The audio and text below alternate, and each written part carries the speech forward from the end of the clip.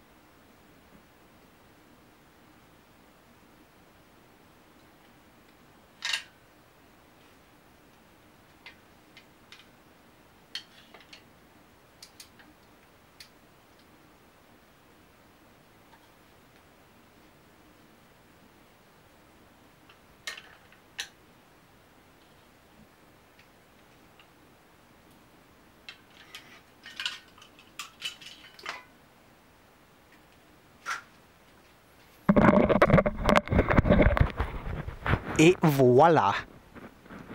Thanks for watching, happy brewing!